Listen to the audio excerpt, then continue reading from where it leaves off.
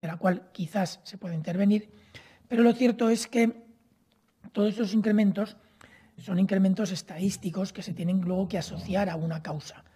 eh, y no podemos decir a qué se deben esos incrementos. No sabemos si se deben a un accidente de tráfico enorme, no sabemos si se deben a un incremento de la mortalidad por infartos, no sabemos si se deben a un incremento de la mortalidad por coronavirus o por cualquier otra enfermedad.